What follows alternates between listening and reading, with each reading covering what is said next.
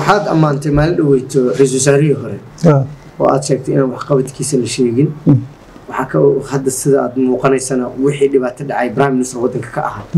Maxay tahay sababta aad dhowr bilood kadib u sheegtay ra'iisul wasaarihii hore in la ammaano waayo in waxqabadkiisa la maxay tahay sababta ku dhalisay waad mahadsantaha maalinkii isaga xilka laga qaaday. Sidii xilka looga qaaday si qallafsan bay ahayd. Si aan waafaqsanayn nidaamka dawliga yay ahayd shaqaa lagu jiro dhuusamaree baa laga yimid howl baa isaga qaban la yidhi.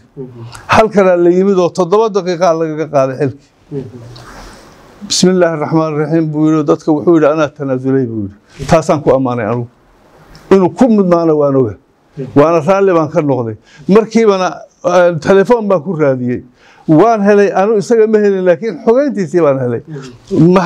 Waad mahadsan tahay soomaaliya waad badbaadisay. Maalinkaa hadduu diidi lahaa baxa uu dhihi lahaa oo uu mataqaanaa fawdo abuuri lahaa fawda way dhici karaysa fawdo inay dhacdo.